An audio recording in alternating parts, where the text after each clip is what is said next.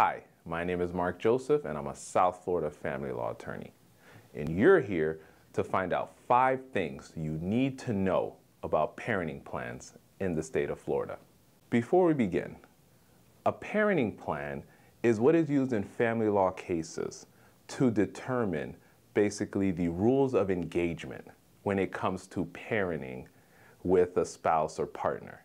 This parenting plan tends to break down the time sharing schedule, how parental responsibility is going to be established, and most of all, the way you guys will navigate parenting and raising your minor child or children. But before we move on, please like, subscribe, and hit the notification bell so you can be updated when we bring out new videos.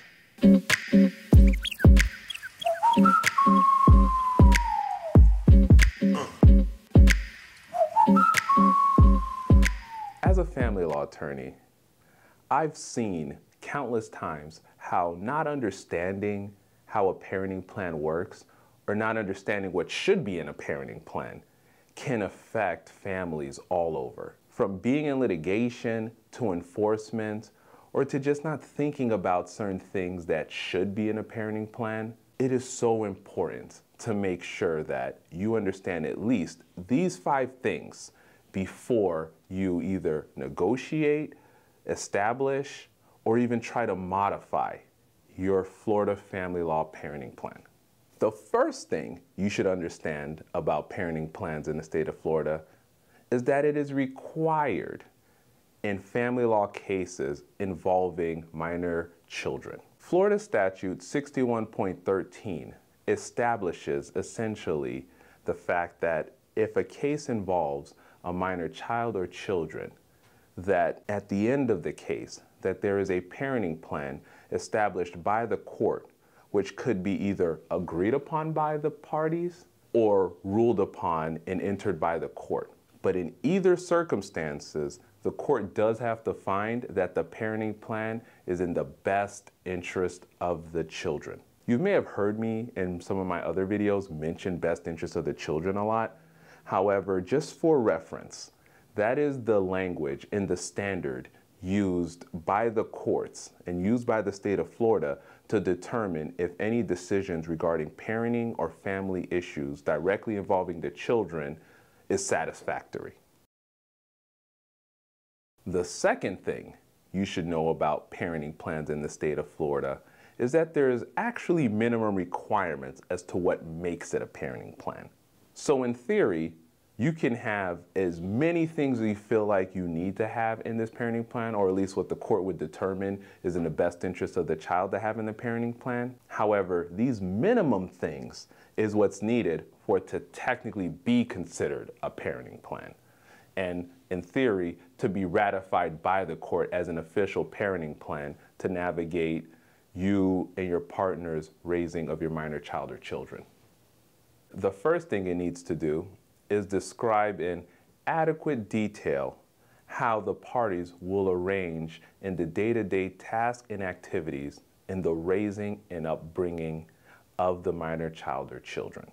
Two, include the time-sharing schedule in which you and the other parent will be exercising the time with the minor child or children.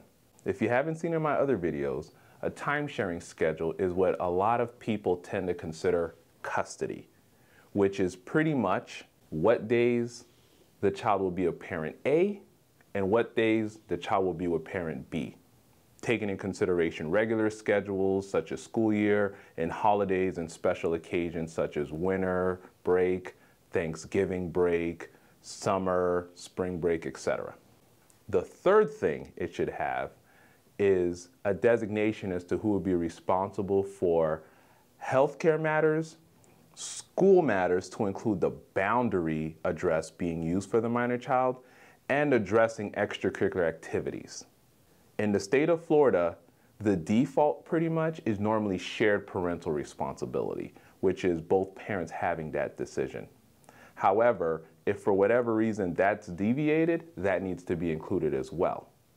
What should also be noted is that if there's shared parental responsibility for healthcare matters, that the language must say that each parent may consent to mental health treatment of the minor child or children. And the fourth thing, pursuant to statute, is that it must determine how communication will occur between the parent and minor children. And more specifically, when the minor child or children is with parent A, how will parent B be communicating with the child or children? These are the bare bones things that needs to be in an agreement to be considered a parenting plan. There should be so much more if you want to minimize disputes and litigation. If you're curious about those things, let me know in the comments and we'll make a video about it. So the third thing you need to know about parenting plans in the state of Florida is that this is essentially the boundaries and the rules of parenting as far as the state of Florida is concerned. I say that because, fortunate or unfortunate, when you have a parenting plan, this is what the court's always going to reference when it comes to any sort of disputes or issues you may have with the other parent.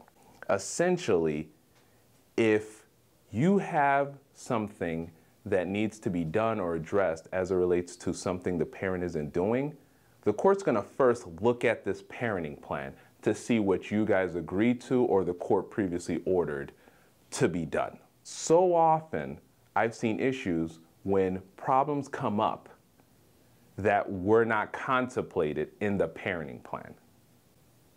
This is why I go to my other point that you want to be as careful and specific as possible, if necessary, when you're drafting these parenting plans. And that rolls into my fourth point that this parenting plan is essentially a contract. Whether you agree to it or whether it's court ordered by a ruling, trial, or otherwise, this is what you are bound by.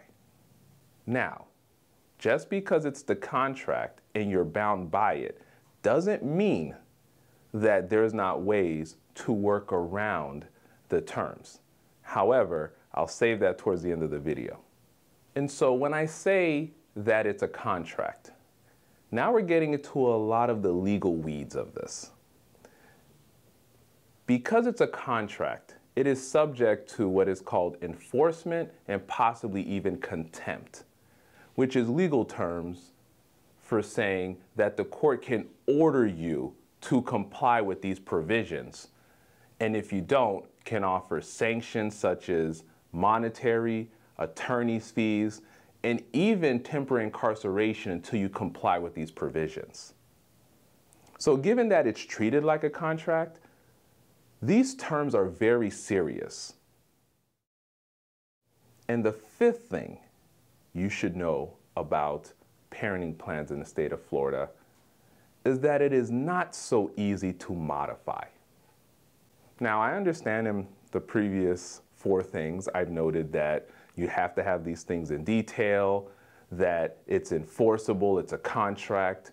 However, there is a standard that you can actually modify a parenting plan. The bad news is it's not as easy and straightforward as a lot of people would want to believe. If there is a substantial material unanticipated change of circumstances since the entry of this parenting plan that's essentially permanent in nature, you can actually go back to the court, request a modification, and if the court deems it's in the best interest of the child or children, it can be modified. And more specifically, those provisions can be modified.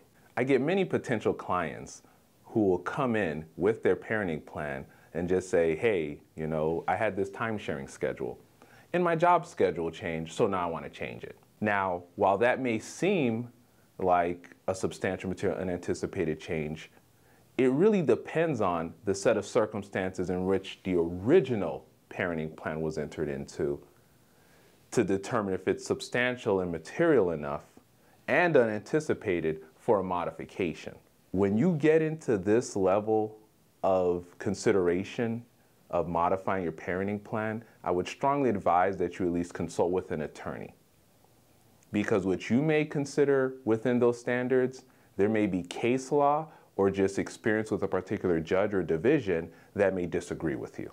Like with the terms of a parenting plan, there can be a whole different video or a series of videos regarding modifications of parenting plans. So if you're interested in us talking about that, leave it in a comment and we'll get right on it. So for my faithfuls that made it all the way through this video, I have a bonus sixth thing you should know about parenting plans in the state of Florida. You know, you can actually do what is called temporary changes or temporary modifications to the parenting plan. However, it requires you to have an agreement with the other parent. It's so important to note that we're discussing right now how Florida family law and the Florida statute determines and regulates how you manage your co-parenting relationship and the raising of your children. But if you and the other parent need to make some changes, temporary or otherwise, you guys are always entitled to do that. This is a huge motivation to focus on working with the other parent to raise the minor child or children. Because if you can, and you have temporary situations in which you need to change the time sharing schedule a bit, you can't do one thing or the other, and the other parent's understanding, you guys can work together. And despite it being a contract, despite it being enforceable, the court wants you to work with this other parent. Just be aware though, that if you guys no longer can work together or the temporariness of the agreement kind of fades, that you're gonna be held accountable for these terms. But if the original change started with an agreement and you can prove that there's an agreement, you can avoid the contempts and enforcements. So it's a nice mechanism to know, okay, if we can't agree, this is what we're going to do, but it is always suggested by attorneys, judges, and overall even the statute that you and the other partner work together in making these decisions and leaving it out of the court's hands. These are five things plus one you need to know about parenting plans in the state of Florida. If you enjoyed this video or got some new knowledge, please like, subscribe, and hit the notification bell to be updated when we post new videos. And if you know someone going through a family law matter and should know some things about the parenting plan, please share this video as well. My name is Marck Joseph. Thank you for watching.